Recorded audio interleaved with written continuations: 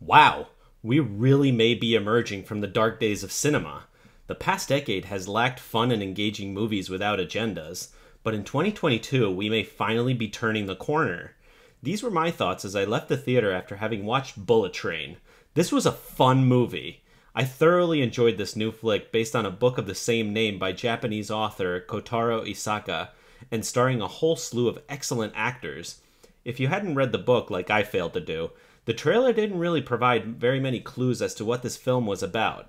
If you were just going by the trailer, you would have thought that this was just another generic action movie, but this ended up being something much, much more special. This was a type of movie with many twists and turns, so I'll keep this review light on spoilers. Broad strokes, it follows the adventures of five assassins as they board a train.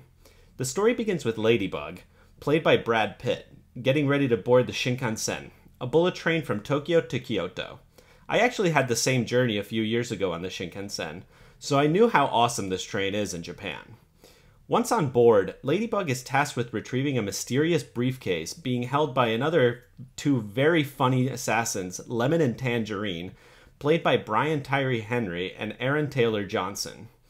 Once he retrieves the case, Ladybug attempts to leave the train but is stopped by another assassin named the Wolf, played by Bad Bunny. All the meanwhile, another assassin called the Father, played by Andrew Koji, boards the train seeking revenge for his son being pushed off of a roof.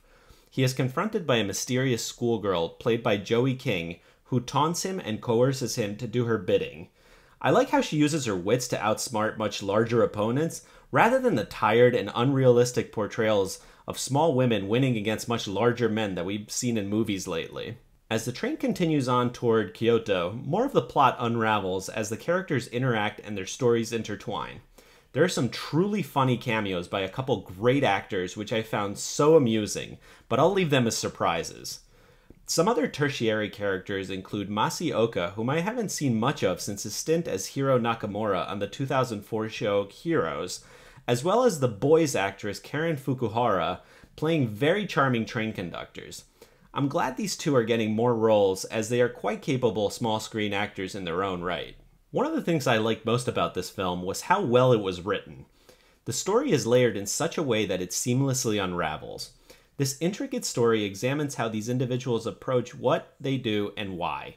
Each character has a fleshed out backstory and complete story arc. By the end of the movie, you knew what each character was about and how they fit into the narrative. Wow, a well written script and narrative? Who knew that was possible these days?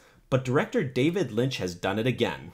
His previous directing credits include Deadpool 2 and Atomic Blonde, both of which have a unique style and feel which Leitch brings into Bullet Train and turns it up to 11. The cinematography and visual style of the movie feel quite fresh and fun, slightly flashy, but not overly so. He found the right balance between serious action and slapstick comedy, which is a tough thing to do usually, and just highlights his skill level as a filmmaker. The action sequences slowly built up in intensity until a spectacular grand finale that was visually very impressive. The casting was also brilliant. At this point, Brad Pitt is a veteran actor and a known quantity, so you know you're getting real talent with him. His character's psychological struggles are on full display each time he mentions what his therapist told him. His interactions with Sandra Bullock showed off great chemistry, even though Bullock received very little screen time. And speaking of chemistry, the chemistry between Aaron Taylor Johnson and Brian Tyree Henry playing Lemon and Tangerine was absolutely stellar. These two played so well off of each other, you'd think they had been best friends for decades. Henry's British accent was so close to the real thing that I was honestly surprised to learn he's red blooded American.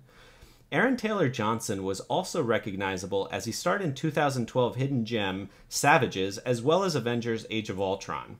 His portrayal of Tangerine makes me look forward to his take on Kraven the Hunter next year. Only upon returning home and looking him up did I learn that Hiroyuki Sanada is another actor with quite a few credits to his name, so I knew I'd seen him in a few flicks in the past, such as the new Mortal Kombat. Michael Shannon is another actor that's made a career of playing bad guys most notably in the 2014 drama 99 Homes opposite Andrew Garfield. But I'd never seen him play a foreign accent before, so when he appeared as the White Death, I thought he had been miscast. But it, he ended up doing a decent job. Had he been alive, I'm sure David Carradine would have been a better fit, but minor gripes aside, the cast of characters definitely interacted well. Not since Knives Out has a band of actors done such a good job playing off of each other. The story seemed as if it were going for a modern take on Murder on the Orient Express, but instead provided its own creative and fresh narrative. The story, like the train, takes a few twists and turns, especially in its route. I've made the trip on the Shinkansen before, and it definitely didn't take as long as it did in the movie. But hey, you've got to suspend your disbelief in movies, and I was definitely sucked into the story. Also, as with most movies these days, the product placement is quite prominent. I'll be sure to grab a bottle of Fiji water after having a Corona. Overall, the film grips you from the minute the train leaves the station. It's a non stop thrill ride full of layered characters, plot twists, and edge of your seat excitement. How the characters interacted and played off of each other was charming and enjoyable, providing much needed levity to tense situations. It was competently shot with a fresh visual style that would invite a second rewatch easily. I also enjoyed that the film didn't dabble in politics or have any sort of agenda, other than to entertain the audience. I love this film. You should definitely give it a watch in the theaters. If you like this video, hit that like button and subscribe for more great content.